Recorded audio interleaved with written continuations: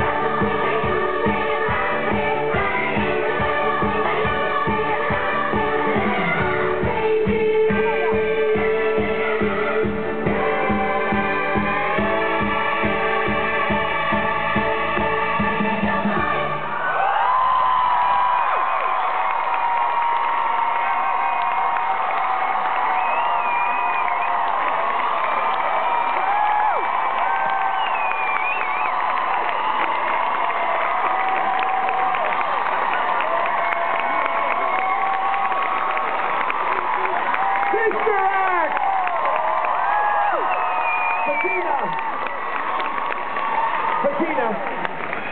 Now, wasn't that fantastic? Listen, are we looking after you in this country? Yes, oh, yes you are. Because you need looking after. You are the most amazing talent. I was so excited to see you. Thank and what you. about today? What was your reaction when they said, would you like to play the Whoopi, you're out of breath, aren't you? when they asked you to play the Whoopi Goldberg part, what, what was your reaction? I died. of course, I was so ready for it. Uh, well, listen, you're absolutely brilliant. You really Thank you. are.